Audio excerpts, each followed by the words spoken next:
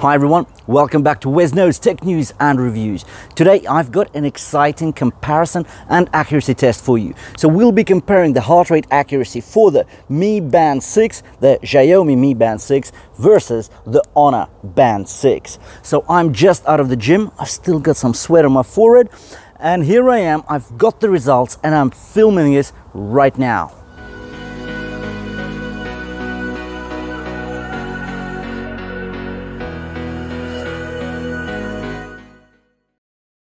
In this particular video though, we'll be discussing the Xiaomi Mi Band 6, right, and its optical heart rate sensor versus the Honor Band 6, which is this one right here.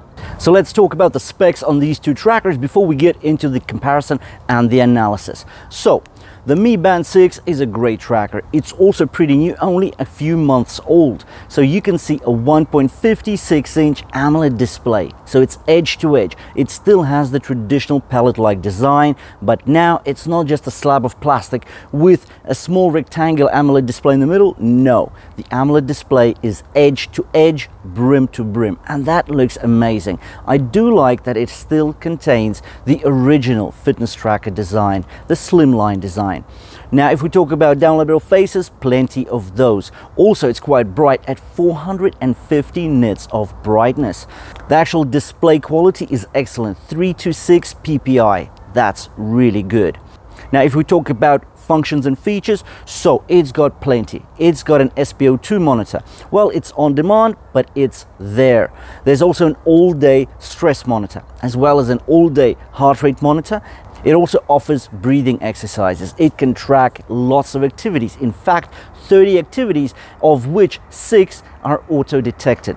Also, it's waterproof up to 50 meters, meaning you can take it to the pool, to the shower, whatever. Of course, both of these bands do not have inbuilt GPS. You still have to connect it to your smartphone for you to be able to calculate your distance and speed on your runs and on your cycles.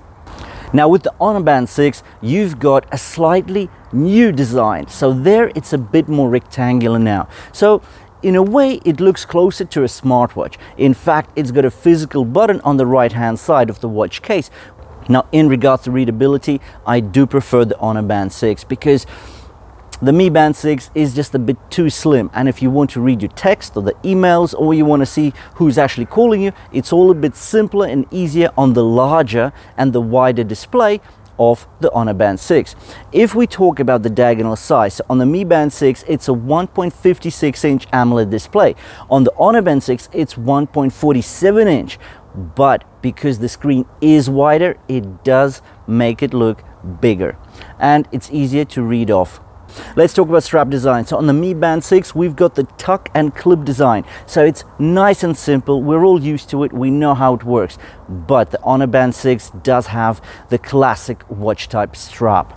And that makes things just so much easier. You can take it on or off when in action and it's just so easy. We're all used to it. If we talk about the general design, the Mi Band 6 is slightly more simple. You can actually pop it out of the TPU strap. Now, with Honor Band 6, you actually have straps which you can put on or off and you can actually change them to other materials simply because they are clip-on. In regards to the features and functions, they are mostly overlapping with the Xiaomi Mi Band 6. So the Honor Band 6 also offers your all-day stress monitoring, all-day heart rate monitoring. It also has breathing exercises. It also has a pulse oximeter, so it does monitor your SpO2 or your blood oxygen saturation. But the SpO2 reading is also a spot reading or on demand, so at a point in time, same as on the Mi Band 6. It's also waterproof, but when we talk about sports, if the Mi Band 6 has 30 sport modes, the Honor Band 6 only gets 10. And out of those 10, only four of them are actually auto detected. So the Mi Band 6 is a bit more superior in terms of sport features and functions. Now on both of the trackers, all sport modes are goal based, meaning that you can actually set a goal such as duration, calories to be burnt or time spent on a particular exercise. And that is a bonus. So I think we're ready to discuss the actual accuracy test now. So the heart rate accuracy test. And here we'll be comparing the optical heart rate sensors on the back of these two trackers. Now you can see that both trackers are quite similar in terms of features and functions. They're also quite similar in terms of release date on the back end of last year, so 2020. So they're quite new, they're both very budget, they both sell for about 40 pounds or 50 bucks. Easy to use, slimline designs, great displays, but what about heart rate accuracy? So without further ado, let's get into the test.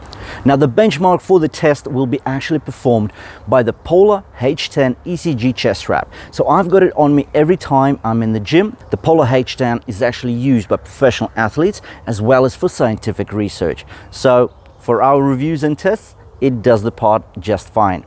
So the heart rate accuracy test we're doing today was actually performed in the gym just over there. So basically, at the end of my usual workout, I got on the treadmill, ran for about one and a half kilometers, just over 10 minutes, and then I got into the weights and core exercises. So I did some bench press, I did some squats, I did some lunges, I did some exercises for abs, and so forth. I tried to keep up the rhythm, so within 20 minutes, I tried to keep the heart rate up quite a bit. So quite an intense workout. So let's have a look at the results, at the heart rate results that we saw on the Polar H10 ECG chest strap. So as we can see on the Polar H10 ECG chest strap, it has recorded the average heart rate at 137 beats per minute over the exercises. So what we're going to do now is have a look at the metrics recorded by the Xiaomi Mi Band 6 and then the Honor Band 6. So for the actual analysis, what we're going to do is we're going to take the plot, the heart rate plot of the Polar H10, and over it we'll be pasting the heart rate plots from the Xiaomi Mi Band 6 and then the Honor Band 6, because we really want to see how accurate the optical heart rate sensors are on the back of these two trackers. So without further ado, let's take a look at what the Xiaomi Mi Band 6 has to show.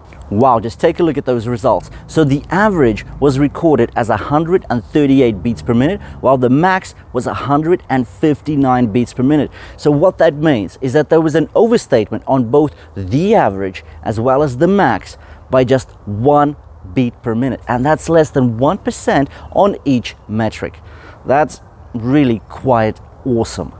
Now let's take a quick look at what the Honor Band 6 actually shows us. Now the results on the Honor Band 6 are also very good. So we can see that the average was recorded at 134 beats per minute. So that's an understatement of 3 beats per minute. And then we have the max at 157 beats per minute. And that's also an understatement by just 1 beat per minute. So what does that actually mean? Well, it means that the Honor Band 6 is generally underestimating the heart rate. We can see that it does underestimate some of the peaks that the Polar H10 has actually managed to register, and hence the generally lower average. Also, the highest peak is also underestimated by one beat per minute. But even though we can see that the average is off by just 2.1%, while the max is out by less than 1%. That's really quite a great result. But at the end of the day, the Mi Band 6 did better. It actually came up with a difference of one beat per minute for the average as well as the max. And that means that the error margin on the Mi Band 6 is within 1%. That's really awesome. Now with the Honor Band 6, the error margin was slightly larger. So also just under 1% on the max, but just over 2% on the average. Thank you for watching this comparison and heart rate accuracy test of the Xiaomi Mi Band 6 and the Honor Band 6. If you did enjoy the content, please drop us a like. And if you want to see more of the same, you know what to do. Please click on the red subscribe button below the video. And we'll see you in the next one.